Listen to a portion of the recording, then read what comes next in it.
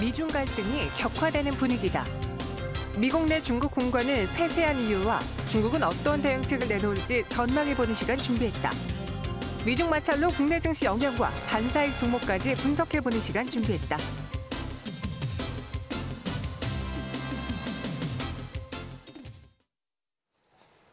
네, 오늘 오전장에 중국 상해 종합지수가 2% 넘게 밀렸습니다. 계속된 미국과 중국의 마찰이 또 우리를 힘들게 만들고 있는데요.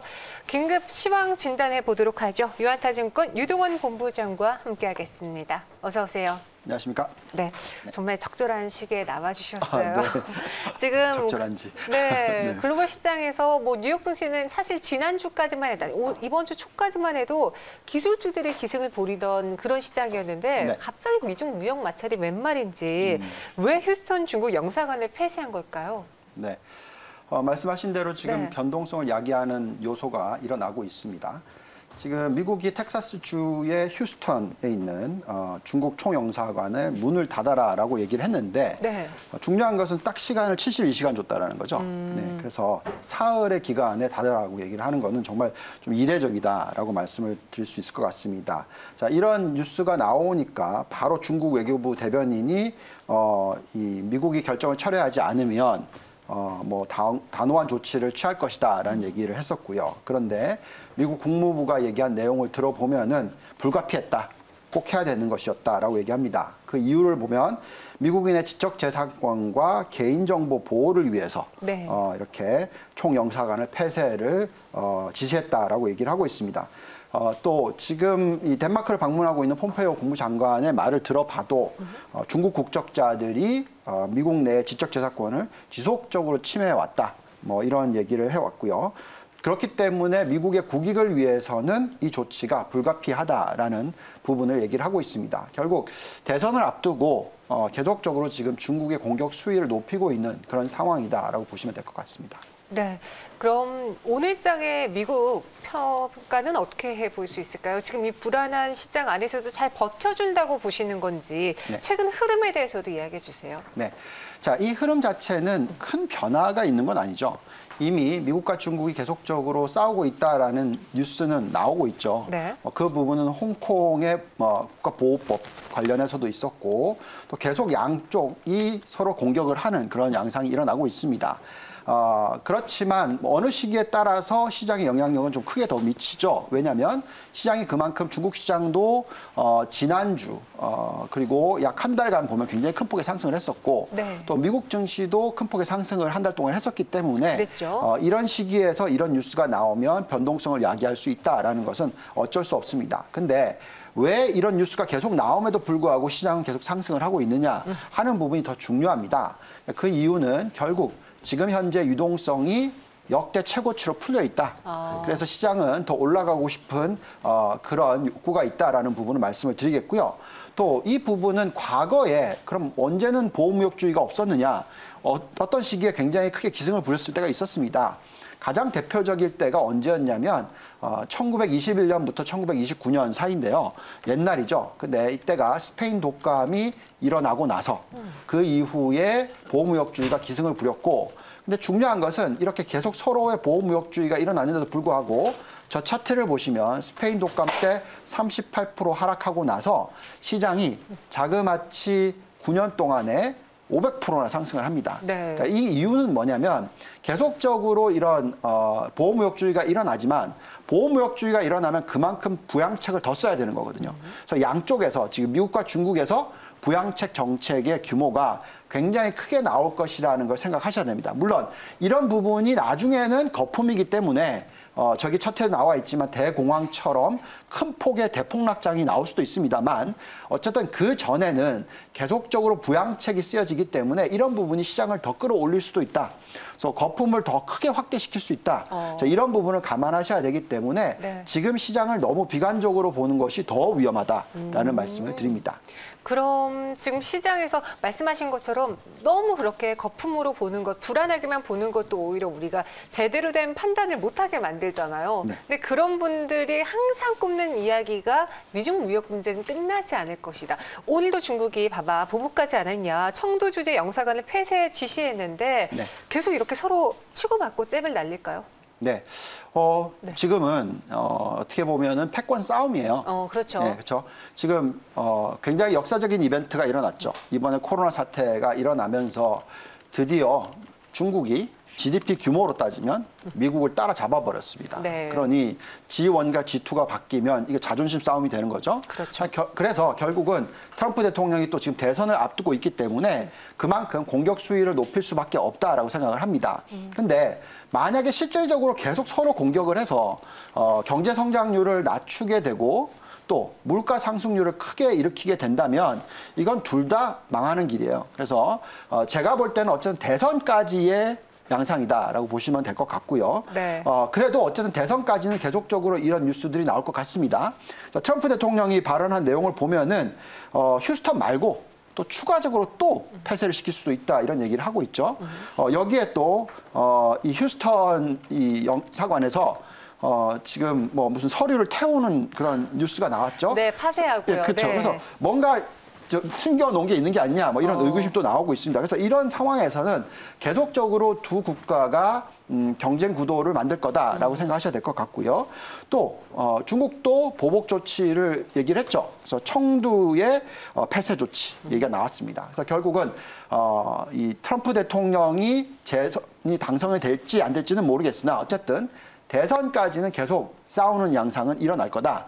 더더욱이나 지금같이 패권 싸움을 하는 데 있어서는 어, 이렇게 일어날 건데 또 중요한 거는 패권 싸움을 하기 때문에 이겨야 될 거 아닙니까? 네. 이기려면 경제 성장률을 높여야지 이기죠. 그렇죠. 예, 그렇기 때문에 부양 정책의 강도가 점점 더 세질 수 있다. 음. 자, 이 부분을 꼭 생각하셔야 된다 말씀드리겠습니다.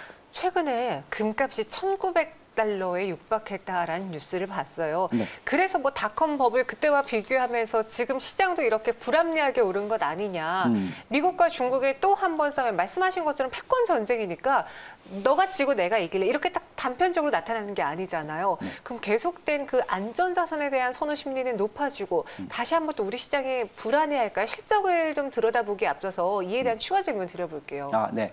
자, 안전자산에 대한 상승은 네. 어, 저는 채권 부분에 대해서는 투자를 하시는 것이 무리가 있다고 얘기를 합니다. 채권이요? 네, 어. 왜 그러냐면 그만큼 부양 정책을 많이 썼기 때문에 금리를 정말 낮게 만들었어요. 그랬죠. 래서 물가 상승률을 반영한 금리는 네. 이미 마이너스란 말이죠. 미국도 마찬가지입니다. 네. 그래서 여기서 도대체 더 얼마나 금리를 내릴 수 있느냐 이런 부분이죠. 물론 가치가 하락하는 속도는 적을 수 있으나 여기서 추가적인 이익을 벌어들이기는 채권 투자로서는 어렵다라는 부분이 있어요.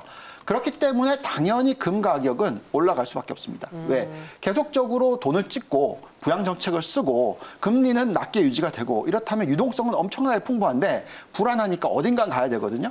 그러면 화폐 가치가 떨어질 가능성이 지금 미국의 M1 증가율이 자그마치 40%까지 올라갔었는데 그렇다면 금 가격도 40% 상승을 해야죠. 그래서 작년 동기 대비 지금까지 한 30% 상승했습니다. 그래서 어, 추가적인 금 상승, 금 가격 상승, 또 은 가격 상승, 뭐 심지어는 가상화폐의 상승 어, 이런 것들도 일어날 수 있기 때문에 이런 부분에 있어서는 계속적으로 요의주시하시면서 투자를 일정 부분 해징을 하는 그런 전략은 필요하다 말씀드리겠습니다. 네, 그럼 앞으로의 미증시에 대해서 저희가 하나씩 하나씩 주요 이슈를 해결해 볼게요. 첫 번째, 실적입니다. 당연히 실적이 어떻게 나오는지를 우리가 챙겨봐야 될 텐데 2분기에 대한 평가는 어떻습니까? 네. 어, 2분기는 워낙 기대치가 낮았어서 그렇죠. 어, 워낙 워낙 낮았기 때문에 뭐 다들 뭐 GDP 성장률 마이너스 어, 20%대 뭐 이런 네. 얘기, 뭐 실업률 20%대 마이너스 뭐 이런 이런 식의 어, 얘기를 마- 워낙 많이 했기 때문에 실적에 대한 기대치가 워낙 낮았습니다. 그래서 지금 나오고 있는 실적 자체는 그렇게 나쁘지 않아요. 특히 어, 우리가 얘기하고 있는 성장주들에 대한 실적 나쁘지 않죠. 어, 테슬라의 2분기 실적이 나왔었죠. 어, 원래는 약간의 적자 아니냐, 뭐 아니면 뭐0 정도의 영업이익 아니냐 이렇게 얘기했는데 실제로 나온 것은 엄청난 흑자였습니다.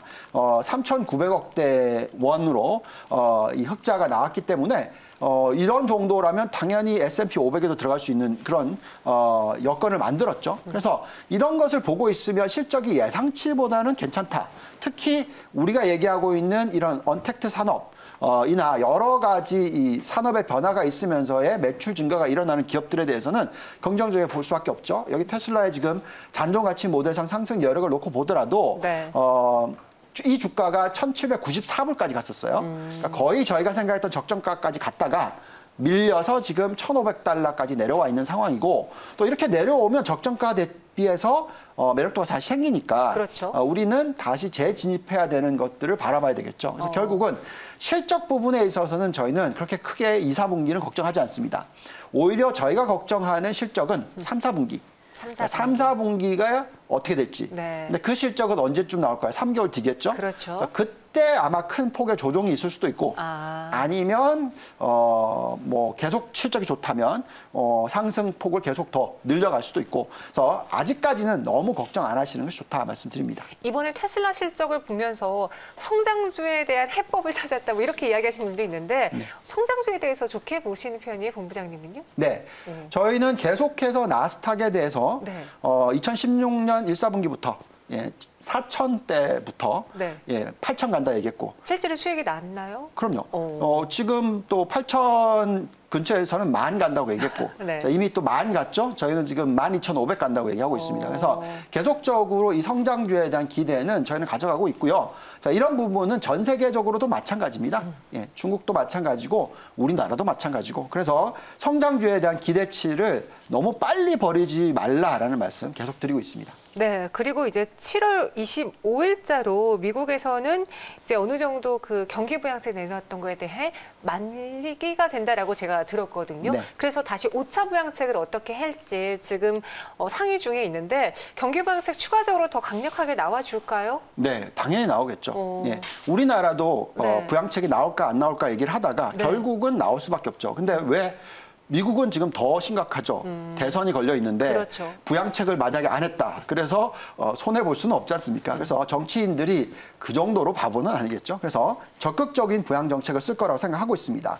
자, 근데 아직까지는 지금 통과를 안 했어요. 네. 그렇다 보니까 시장이 쉬어간다라고 생각하셔야 될 것 같고 또이 와중에 EU에서 또 어, 부양책이 나왔죠. 7,500억 유로 참 엄청난 규모입니다. 그래서 솔직히 이런 숫자들 보고 있으면 무슨 조단위가 그냥 게임 같아요. 그래서 계속 이런 얘기들이 나오고 있고 네. 이 규모를 생각하면 도대체 얼마나 시장에 돈을 풀 건가?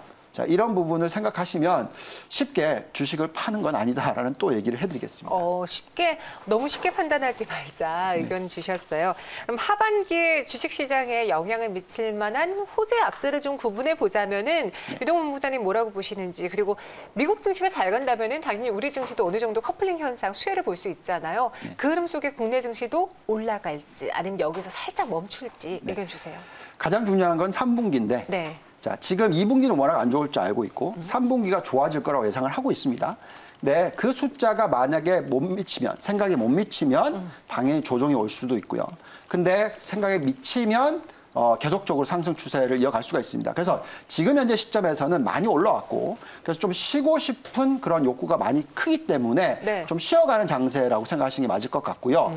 그리고 지금 현재의 경제 지표는 정말 많은 부양 정책들을 펴고 있어서 네. 결국 3, 4분기에 큰 폭의 상승을 할 수 있을 것이다. 만약에 3, 4분기가 일어나지 않으면 4, 4분기는 당연하다. 심지어는 내년으로 넘어- 넘어가면 완전히 정상화될 것이다.